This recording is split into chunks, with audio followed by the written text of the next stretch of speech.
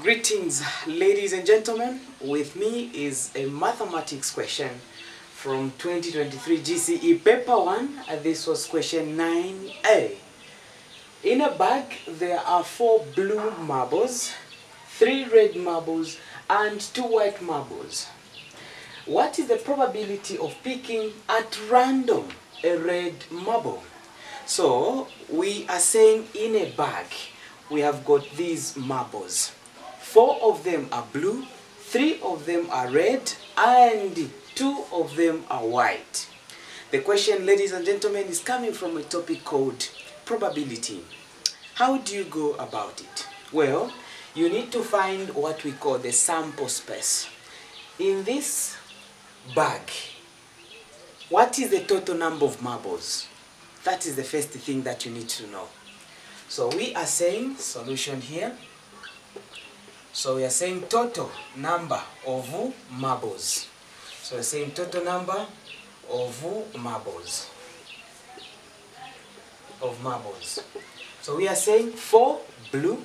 So have got four plus three red. Got three plus uh, two white, giving us the total of nine. So we've got nine marbles. Okay, we've got nine marbles.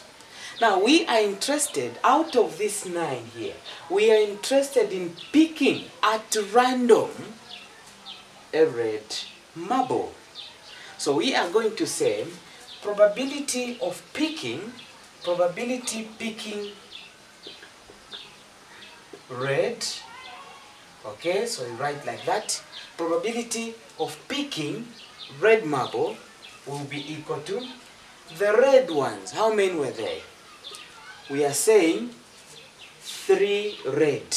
So there were three. So you are picking a red marble um, out of the number of red, which is three, over the total number of marbles in a bag, which is nine.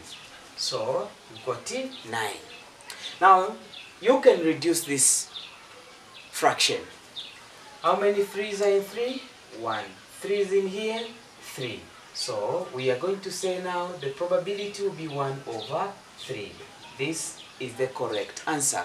The probability of picking a red marble is one over three.